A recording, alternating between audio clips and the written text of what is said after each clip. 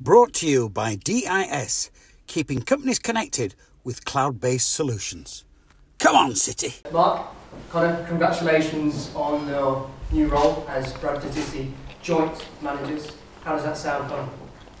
Yeah, over the moon. Um, obviously, we've been in this position now for a couple of months, and you know things have been positive so far, and, and we've really enjoyed the moment. And it's brilliant to get it um, full time and permanent as well. Mark, when did you learn that you'd be manager of Bradford City?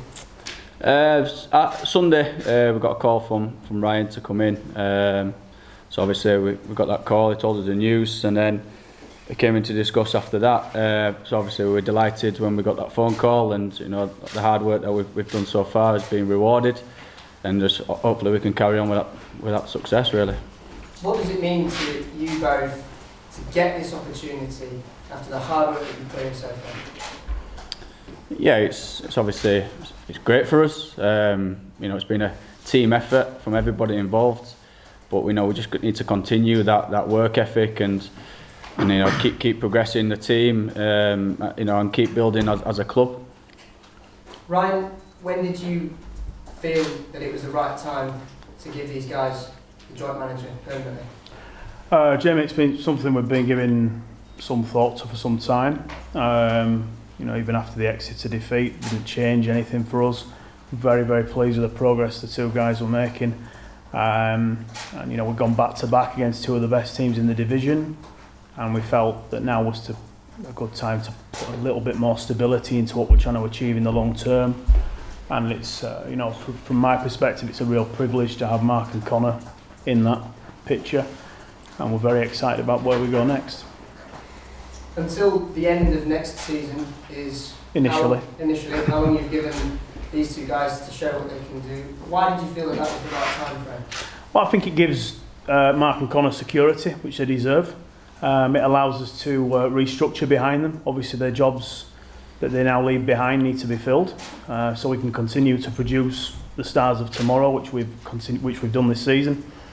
Um, and, and and you know, it's very much an initial 16 month contract, so there is more to go. Um, and uh, it's we'll see where we get, but it's a deal that um, both ourselves and Mark and Conor are very comfortable with. We spoke about it at length yesterday, and uh, and here we are today, all over the line, and we move forward.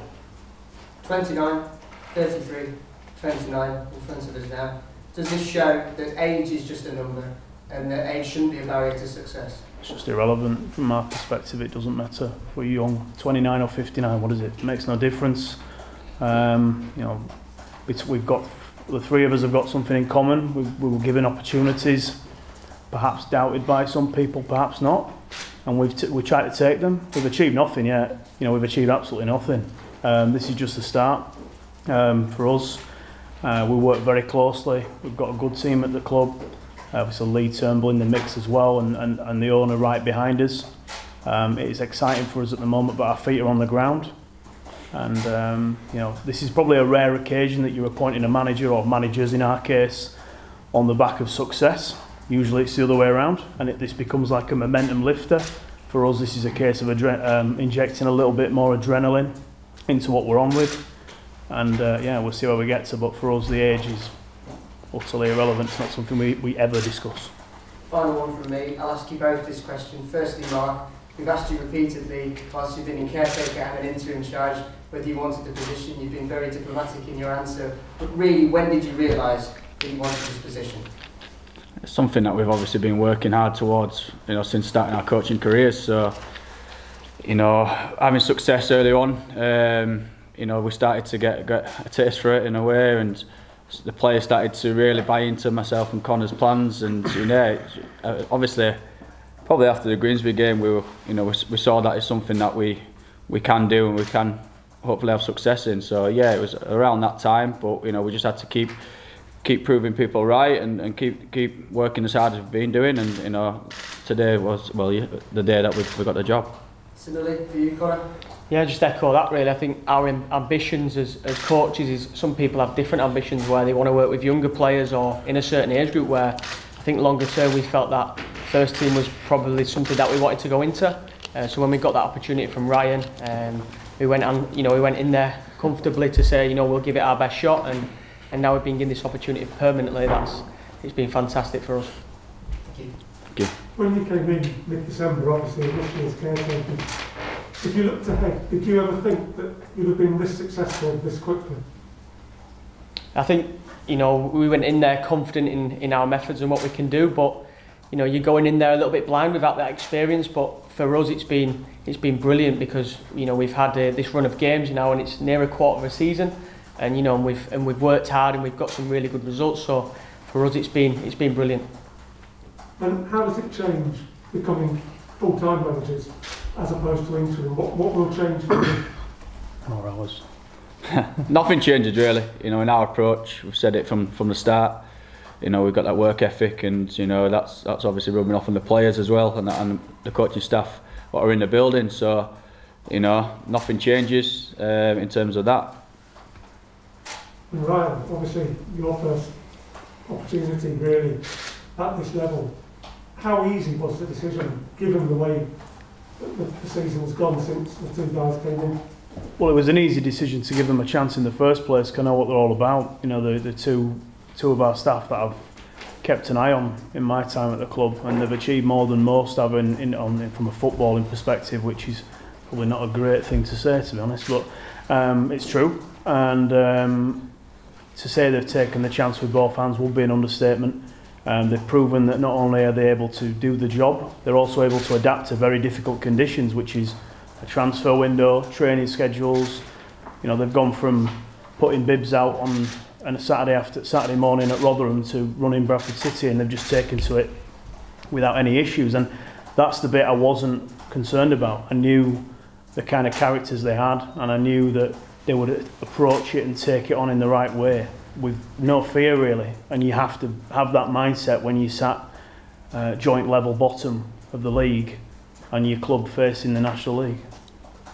And obviously touched on the age of it, as you said, it's, it's fairly irrelevant. But it does seem now that you are all of one mind. It's, we all know what's happened in the last few years at Bradford City, but it does seem everyone, to use a cliche, singing from the same hymn sheet. Well, yeah, I mean, if you're not on the same page and you've got arrows pointing in the wrong direction, it's going to end one way, isn't it? So I, think it's if you're together and you understand it and you share the vision, that's the key part. If you share what you're trying to achieve and you genuinely believe it and you're not just going along with it, then it's, you can be you can be harder to beat. And if you're not sure and someone's pulling in a different direction, it usually comes unstuck. I'm not suggesting that's what's happened in the past, but I can only control what's going forward, and that's the way we'll run this club. Mark, um, the players themselves, you know, I mean, obviously the way they adapted to yourself and Conor, you must have been very pleased with that because obviously you were coming in from the academy and, you know, a lot of them probably didn't know who you were or didn't know much about it. Um, well, I, I did work a, a little bit with, with the, some of the players within the squad, so that transition for me was was a little uh, bit easier. But you know, I can't, I can't speak for Conor, but Conor's kind of knew the players as well around the building. A lot of them kind of have come through the academy as well, which which helped that transition. But yeah, you know, we're delighted how the players have. I've said it before. I've kind of bought into our beliefs, and, and, and the key is that they're going to apply it out, out, on the, out on the field. Just say, 'cause you needed that from day one, didn't you? Because Conor, if you know, they've been a little bit reticent about, about you two being appointed. That's always going to hold things back, isn't it? Yeah, um, like I say, when, when Mark has, has worked with a few, and, and for us, you've got to get that respect straight away. Um, and hopefully that's come from our work ethic and, and what we're, we're putting into Bradford City in terms of the style of play and what we're asking of the players and knowing that they're organised and they know the roles and responsibilities. And, and we've done that and we've had really good feedback from the players. You know, they speak regularly, you know, to us. We've got really good communications as well as, as the board and Ryan. So um, I think everybody was in the same boat where we felt that we were all moving in a positive direction. Um, so it's been it's been good. Was that almost like stage one, was making sure you earn that respect, winning that respect? Because straight away, you know, there's not going to be any resentment. Yeah, I think you know that's a big thing in terms of the respect. Um, you've got to earn it in some way. Um, obviously, we've with us two, we've, we've not had that track record of, of having success in the past at that level. So you've got to go in and impress people, and, and hopefully we've done that and we've gained respect from our from our efforts, like I said. Well, um, when, when were the players told this morning, or when did they first? Were they told yesterday, or Yeah, they were told yesterday evening. Um, so you know, they were positive. Obviously, they're happy where we're working, and you know, that nothing changed today in training. Just just carried on as normal. Presumably, it gives them that you said the added stability around the club, but you know, the players themselves as well, isn't it? Because they, they know, particularly those perhaps the contracts have just they just signed or the contracts are up in the summer. They know that there's going to be you know, the same people in charge. Yeah, that stability is, is, is good for them as well, like you're saying, because you know it's always different when a new manager comes in. They, they change the way they work, and it's obviously when myself and Conor came in, we changed uh, the, the, the style, the, the formation, things like that. So it, obviously that stability for the players has has been great. And in terms of obviously the way players treat you, are you both gaffer or have you got a, official titles with them?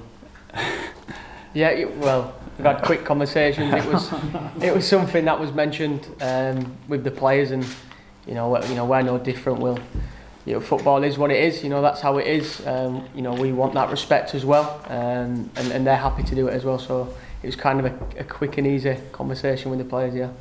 And, and as you say, as, as Ryan said about, you know, appointment while the team are going well as well, it, it's sort of just, you say, possibly adrenaline boost, and it just gives everyone a bit of a lift and, and sort of takes any air of uncertainty out of things, doesn't it? Yeah, and I think, you know, ideally everybody sees that you know we've potentially got a, a vision that we're going to try and achieve, um, and there's a good feel around the place at the minute. So, like you say, for the for the players, I'm sure that they're on board um, for the future. Yeah. So the only thing missing is a, is a crowd to, to. That would be nice. Yeah, Mm. that would be great. Right, can I ask, obviously all three of you, it's not your first job at the club, how important is that sort of level of continuity in what you're trying to achieve as well? Yeah, it's a probably a good point. I've not thought of it like that. Um, yeah, well, we're, we're from within, I guess, if you like, so we know the place. Uh, I think what we what we really share is that we know what this place should be and can be, uh, and that doesn't mean we've got you know illusions of grandeur or anything like that. We know what we can achieve, um, but we all know where we might want to improve things, and that collective effort, and then you add in other people to that who share a similar opinion, and it can be quite it can be quite helpful. Um, you know, I'll make no secret of the fact that the next under 18s coach at this club will be someone who potentially could be the next Bradford City manager. We would like to have that um, internal pathway, a little bit of a backfilling. Not going anywhere yet, but you know what I mean. It, it, we, a little bit more structure and stability, because what it's what it reminds people is that you have quality within, and if people don't have opportunities in life, who you know who knows? We, we could have this club could have lost Mark and Conor to another club and never known the true capabilities. So it's a reminder, for, I guess, for for anybody really that if we, you do need a shot in life, Uh, can I just ask Conor as well, you're, you're obviously, you, you're both young, you're inexperienced managers, but you're not inexperienced coaches particularly. You've got a good few years behind you. How important was that in terms of your confidence when you, when you first took over? Yeah, and it's it's something that you know does get brought up. I think sometimes you've got to ask yourself, you know, what's the quality of your experience, you know, instead of the the years. Um, so you know, like I said, we've started our coaching journey, you know, a long time ago when we were a lot younger, um, and we've been able to to try out our, our methods and and through and through our coaching career, just keep on developing and getting better, and and we find ourselves in this position and. You know what we'll do is have that passion and drive to to make sure that we're all a success. And, and just, just to Mark, I mean, you were very well backed by Ryan in, in January. I mean, what, what did that mean to you at the time? And were you always confident that, you know, you would get the opportunity here if you did well as uh, caretakers and interims? Yeah, like you said, we're from within the club, so we've got the best intentions for the club. So, you know, when we in January we're speaking about the the players that could uh, hopefully improve the squad. You know, that's that's when we started to think that this could be a long term thing for for us. Um, so yeah, you know, in the January window was was positive for us, bringing them players in, and then you know, it's for us now. It's just keep building on that. And, and really, for, for anyone who wants to answer, there's a, there's a lot of talk about, you know, the ethos around the club and sort of getting back to the, you know, a certain way of doing things. Could you just sort of outline what, what that ethos is and, and, and, and what the vision is? I don't I don't think you can talk about getting back to what we were. You know, I think that's the thing. We- We're very proud of what this club's achieved, but we can't. You can't necessarily replicate it. So you're inspired by it. You know, you look at that and you say that's the benchmark. and it's how you get there. And for us, it comes down to you know recruitment has been an issue for the club for a few years. There is a clear strategy of how we will recruit going forward. Uh, you know we've got some real exciting talents in the building, and then it's a case of how we grow the club. There will be further appointments off the field to do that. We will restructure the football department in the summer somewhat to give us the very best chance of always being at the right end of the results. Um, I guess not allowing ourselves to drift and, and leaving no stone unturned without trying to get into all the buzzwords. That is basically how the basics. You know, have you have you done everything you can to give yourself the best chance of success? And if you can't answer that question, then you haven't. So um, the vision's pretty clear. We're not going to blow the budgets. We're going to we're going to run this place in a sustainable way. Mark and Conor are aware of that. Lee Turnbull's aware of it. But we we want to do that, and it will make any success we do have a lot sweeter um, when we're not putting the future of the club at risk, as previously others may have. And Conor, does this does this appointment have you been able to think much about, for example, the summer the summer recruitment at this stage, does does just having this certainty help in that regard? I think as a, as a club and, and with the recruitment department and how we've been working, we've been identifying players whilst we've been, you know, having games, and that's how football clubs are run. Um, you know, and, and for us, we're excited, and having that stability does help us recruit in the summer. Yes. And, and, and Mark, what what's your sort of um, vision of, of how the team will play going forward? We've obviously seen you make significant changes so far. what, what should a Bradford team under yourself and Conor look like? Well, you know, we've, we've shown it, I think, already that you know we're ready to to fight and compete every game um, and be hard to beat, but also showing the qualities in possession of the ball. You know, and that's that's what the fans want to see. That's how me and uh, Conor want want you know the team to play. So you know more of that really. You know, just keep keep showing that fighting spirit, but also just having quality alongside it. Brought to you by DIS, keeping companies connected with cloud based solutions. Come on, City!